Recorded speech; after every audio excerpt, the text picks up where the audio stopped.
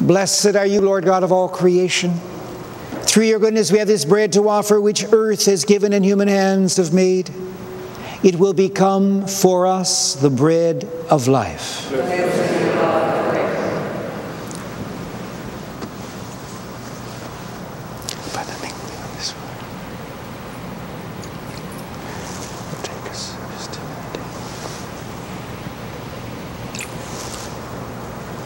Blessed are you, Lord God of all creation. Through your goodness, we have this wine to offer, fruit of the vine and work of human hands.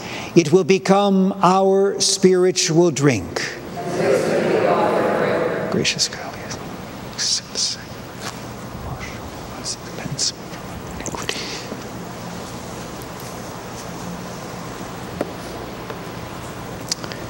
Pray, my sisters and brothers, that our sacrifice may be made acceptable to God, the Father Almighty.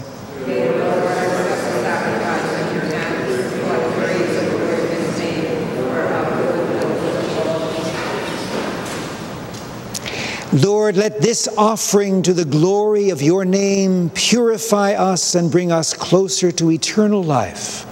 We ask this in the name of Jesus the Lord. The Lord be with you. Lift up your hearts. Let us give thanks to the Lord our God. Father, all powerful and ever living God, we do well always and everywhere to give you thanks through Jesus Christ our Lord. With love, we celebrate his death. With living faith, we proclaim his resurrection. With unwavering hope, we await his return in glory. Now, with all the angels and the saints, we praise you forever.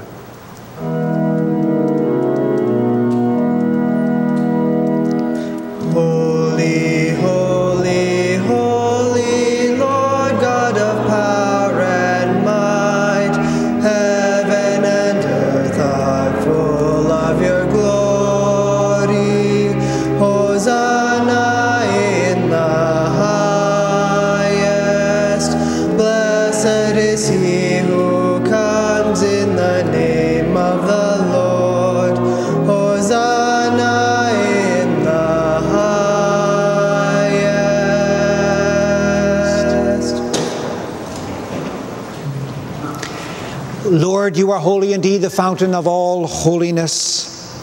Let your Spirit come upon these gifts to make them holy, so that they may become for us the body and blood of your Son, our Lord Jesus Christ.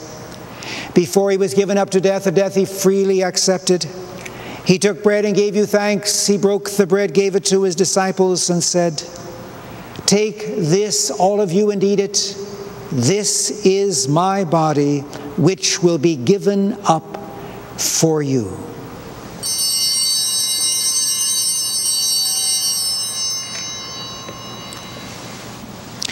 When supper was ended, we, he took the cup. Again, he gave you thanks and praise, gave the cup to his disciples, and said, Take this, all of you, and drink from it. This is the cup of my blood, the blood of the new and everlasting covenant. It will be shed for you and for all, so that sins may be forgiven. Do this in memory of me.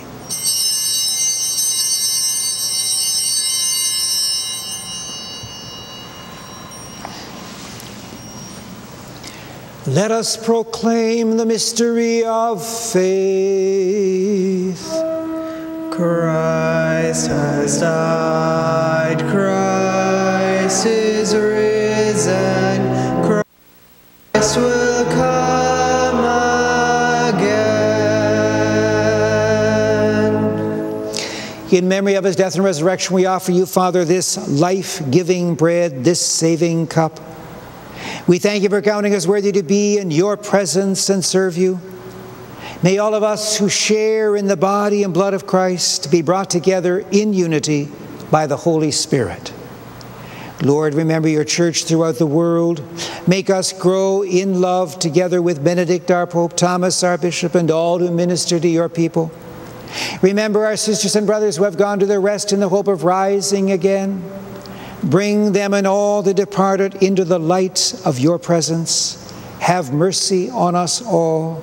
Make us worthy to share eternal life with Mary, the Virgin Mother of God, with the apostles and with all the saints who have done your will throughout the ages. May we praise you and praise you and give you glory through your Son, Jesus Christ.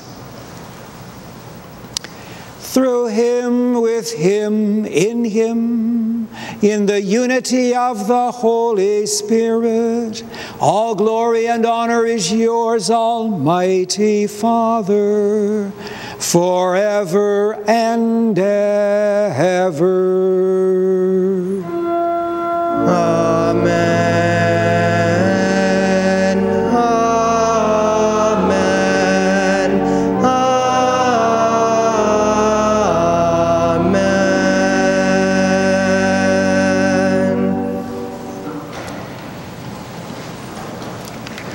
Using other words which Jesus himself taught us, let us pray together. Our Father, who art in heaven, hallowed be thy name. Thy kingdom come, thy will be done on earth as it is in heaven.